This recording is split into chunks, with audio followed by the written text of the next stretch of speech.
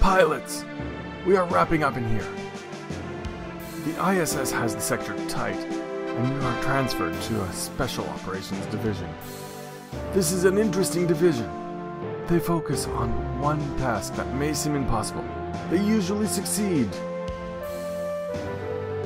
You may notice a few people here.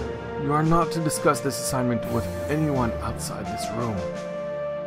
The Majestic is needed here to coordinate the ISS efforts. But you will transfer to the TCS Rathburn. You will join it at NAF Half of you will escort a transport out of system.